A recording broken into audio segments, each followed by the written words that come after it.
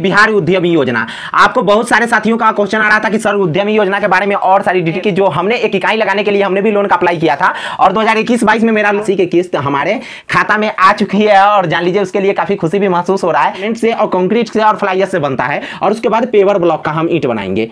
Paver block. CBC में है इनको क्या करना पड़ता है? पाँच लाख छोड़ देती है सरकार और उसके बाद बाकी रुपये रेस्ट अमाउंट को एक एक प्रतिशत प्रति हमको मान लीजिए कि एक अक्टूबर तक कंप्लीट हुआ है यानी कि लगभग उसके बाद आधार कार्ड पैन कार्ड और ये सारी डिटेल आपको जो डॉक्यूमेंट फ्रेंड नमस्कार आप सभी का बहुत बहुत स्वागत है हमारे average coaching centre YouTube channel में। देखिए आज हम आपको बताएँगे कि बिहार उद्यमी योजना। आपको बहुत सारे साथियों का क्वेश्चन आ रहा था कि सर उद्यमी योजना के बारे में और सारी डिटेल बताइए। तो हम आपको एक खुशी की बात बता रहे हैं कि जो हमने एक इकाई लगाने के लिए हमने भी लोन का अप्लाई किया था और 2021-22 में मेरा लोन यानी कि ईयर था। तो 2021-22 में मेरा भी नाम उस लिस्ट में आ गया था। तो और उसके तहत जो है ना, यानी कि हमें जो यह लोन के तहत जो उद्यमी योजना के तहत जो राशि मिलती है, दस लाख रुपए तो यह दस लाख रुपए जो है ना, यानी कि एक बार में नहीं मिलती है। यह दस लाख रुपए की टर्म जो है ना, आपको दो बार में मिलती है। और दो बार में मिलती है तो यह बात का अभी हम आपको प्रूफ भी देंगे कि वह कैसे मिलता है तो जान लीजिए यह दो बार में मिलती है तो जो सबसे पहला बार जो मिलता है, चार लाख रुपया, और उसके बाद दूसरा बार कितना मिलता है, छह लाख रुपया। इस प्रकार से कुल मिलाकर के दस लाख रुपया मिलता है, जिसमें सबसे पहले राशि की किस्त हमारे खाता में आ चुकी है, और जान लीजिए, उसके लिए काफ़ी खुशी भी महसूस हो रहा है। ये रुपया की किस्त हमारे खाते में लगभग कुछ दिन पहले ही आई थी, पंद्रह बीस दिन मतलब पंद्रह दिन पहले लगभग अप्रोक्सीमेटली लेकिन हम इस पैसे के, यानी कि हम नहीं देख पाए थे, अभी तक हम नहीं देख पाए थे। और जब कल हमने जा करके, जब हमने अपना बैंक में जब इसका चेकिंग कराया कि अभी तक मेरे पास पैसे क्यों नहीं आए हैं, देखिए तो थोड़ा सा कोई प्रॉब्लम है कि, यानी करेंट अकाउंट है, जिला कार्यालय में है, इसीलिए थोड़ा सा जाने में समय लगता था। और वहाँ पे मुजफ्फरपुर गए डीआईसी में भी गए, यानी कि उद्योग भवन में भी गए और बैंक में भी गए। तो बैंक में पता चला कि हमारे खाते में कुल मिलाकर के राशि, यानी कि चार लाख रुपए क्रेडिट कर दी गई है। और इस प्रकार से उस वक्त से काफ़ी महसूस भी हो रहा है और इसके तहत हम आपको बताने जा रहे हैं कि अभी हम कौन सा बिज़नेस स्टार्ट करने जा रहे हैं। तो हमारा एक सूक्ष्म लघु उद्योग होगा। एक किसी यानी कि बड़े हम आपको, यानी कि रॉबर्ट की ओसाकी इस प्रकार से हम कोई बुक पढ़ रहे थे, उसमें हम देखे थे कि जो है ना, यानी कि बड़ा नौकर बनने से अच्छा है कि छोटा मालिक बन जाए। तो उसी के तहत हमारे भी वही प्रयास है कि हम एक क्या चीज़ बने तो छोटा मालिक बने। अब छोटा मालिक बनने के लिए जो है ना, हमको क्या चीज़ की तो भाई खुद से तो बन नहीं पाए हैं। तो इसके लिए हम क्या चीज़ किए हैं तो यानी कि हम सरकार का सहारा लिए हैं। सरकार का सहारा लिए हैं तो सरकार से हम सहारा ले करके, यानी कि क्या किए बाद में तो इनको पैसा देना ही है। लेकिन आप लोग को पता है कि इसमें से पाँच लाख रुपए जो है ना सरकार हमें क्या कर देगी? पाँच लाख रुपए छोड़ देगी और पाँच लाख रुपए का जो है ना ब्याज लेगी। पाँच लाख रुपए का ब्याज कितना लेगी तो मात्र बहुत मिनिमम इंटरेस्ट पे।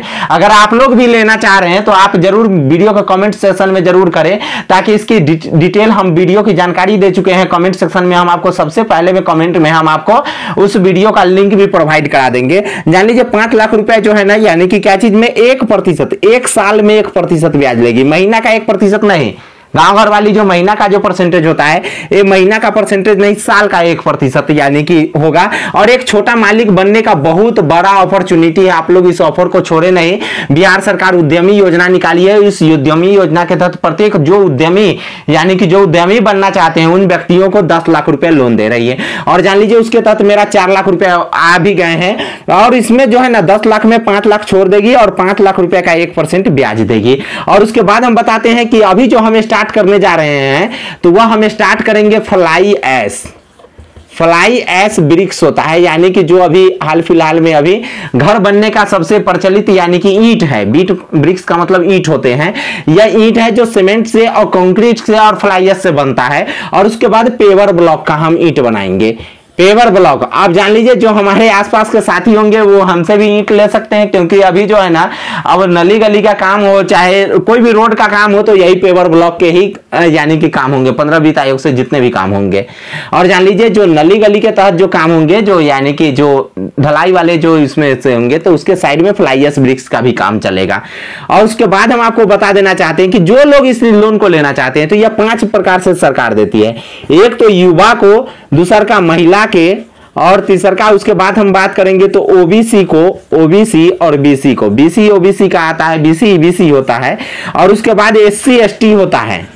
ठीक है? जिसमें कि आपको हम बता दें कि जो महिला और एस सी को जो है ना, जान लीजिए, महिला और एस सी में आपको सरकार ब्याज नहीं लेती है। ब्याज नहीं लेती है और पाँच लाख रुपया जो है ना, यानी कि फाफा में छोड़ देती है, यानी कि बहुत अच्छी अपॉर्चुनिटी है। युवा में है और बीसी बीसी में है, इनको क्या करना पड़ता है? पाँच लाख छोड़ देती है सरकार और उसके बाद बाकी रुपये रेस्ट अमाउंट को एक एक प्रतिशत प्रति ब्याज दर से, यानी कि पैसा देना पड़ता है, उनको सरकार को लौटा देना पड़ेगा। और जान लीजिए, यह छोटा सा मालिक बनने का बहुत बड़ा अपॉर्चुनिटी है, आप लोग भी अप्लाई कर सकते हैं, लेकिन जान लीजिए, इसके हर कंडीशन में इसका, यानी कि हर कोई भी ब्याज लेने में आपको एक ही चीज़ आकर के अप्लाई कर दिए। जान लीजिए, युवा वाले में जो है ना जनरल जाति भर सकते हैं। महिला वाले में भी जनरल जाति के महिला भर सकते हैं। जनरल का मतलब जो है जनरल जो ऊँचे कास्ट के होते हैं, जैसे ब्राह्मण, राजपूत, भूमिहार, यादव, अब ये सब लोग भी भर सकते हैं युवा में। और उसके बाद ओबीसी और बीसी बीसी में वो केवल बीसी बीसी जाति वाले महिला में भी सारे लोग भर सकते हैं। एस सी में केवल ये जाति वाले लोग।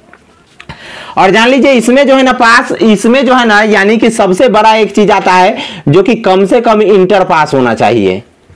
कम से कम इंटर पास आपको सर्टिफिकेट देने पड़ेंगे।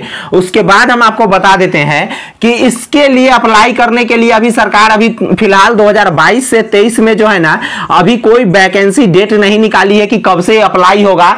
लेकिन आपको हम बता दें कि बहुत जल्द ही लगभग 18 तारीख से ऐलान है। ठीक है 18 तारीख से ऐलान है इस पे बहुत जल्दी सरकार प्रतिक्रिया करेगी और जल्द से जल्द इसमें यानी कि पैसा देने का सॉरी इसका अप्लाई का डेट निकालेगी। और उसके बाद जान ले, हम वैसे व्यक्ति को हम इस बातों में सचेत करना चाहेंगे कि जो व्यक्ति अलग कहीं रह करके मतलब अभी कहीं पे जॉब कर रहे हैं और उनके परिवार की हालत, स्थिति ठीक नहीं है, वह व्यक्ति इसमें अभी अप्लाई करे, लेकिन अभी इस पर निर्भर नहीं हो क्यों? क्योंकि हम आपको बता देते हैं कि पिछले बार सितंबर में हमने अप्लाई किया था। जान लीजिए, पिछले बार 2021 के सितंबर में अप्लाई किए थे और उसके बाद जो है ना, ये इस लोन के राशि जो है ना, इस लोन का अमाउंट जो है ना, हमको मान लीजिए कि एक अक्टूबर तक कंप्लीट हुआ है, यानी कि लगभग एक साल, एक महीने बाद। अब जान लीजिए अगर हमारे पास अगर कोई अन्य जीविका उपार्जन के अगर कोई अन्य धंधा नहीं रहता तो जान लीजिए हमारा क्या होता, रोड पे बुगवाने का नौबत आ जाता। लेकिन अभी जो है ना, यानी कि हमारे पास जो है थोड़ा मोड़ा रुपया कमा लेता हूँ जिससे मेरा, यानी कि जितना मेरा चल सके। अब उसके बाद थोड़ा बहुत अब आप लोगों से भी अब हम थोड़ा सा चार्ज हम नहीं कर रहे हैं। अभी किसी लोगों से हम यूट्यूब पे चार्ज नहीं कर रहे हैं, ठीक है? लेकिन जिन लोगों को आशा हो, वो हमारे फ़ोन पे गूगल पे और ये सब में हमारी हेल्प कर सकते हैं, इसके लिए कोई बड़ी बात नहीं है। अब उसके बाद हम आपको बता रहे हैं, यानी कि जो है ना, ये सब चीज़ जो है ना, इसके बाद लगता है और इसमें जो डॉक्यूमेंट लगते हैं, उसकी बात अगर हम कर ले तो इसके लिए आपको सबसे पहले जिस फॉर्म को, यानी कि आप स्टार्ट करना चाहते हैं, उस फॉर्म के नाम से आपको अकाउंट चाहिए। उस फॉर्म के नाम से अकाउंट चाहिए और वो फॉर्म का अकाउंट कौन अकाउंट खुलेगा? तो यह करेंट अकाउंट खोलेगा। उसके बाद जो व्यक्ति अप्लाई करेंगे, उनके पास जो है ना, यानी कि मैट्रिक का मैट्रिक का मूल प्रमाण पत्र, मूल प्रमाण पत्र स्कूल में तीन साल बाद आता है, ठीक है? वो मूल प्रमाण पत्र होना चाहिए, मार्कशीट होने चाहिए। अगर मूल प्रमाण पत्र नहीं है, फिर भी आपको प्रोविजनल पे काम चल जाएगा। उसके बाद तीन नंबर की अगर हम बात करें तो मैट्रिक और इंटर की सर्टिफिकेट चाहिए। इंटर की भी मूल प्रमाण पत्र चाहिए। उसके बाद आधार कार्ड, पैन कार्ड और ये सारी डिटेल आपको जो डॉक्यूमेंट चाहिए, इसका ये टू जेड डिटेल हम आपको बता देंगे, ठीक है? और उसके बाद हम अगर बात करें तो यह सब चीज़ अगर आप लेना चाहते हैं तो जान लीजिए इसके लिए बहुत जल्दी डेट आएगा।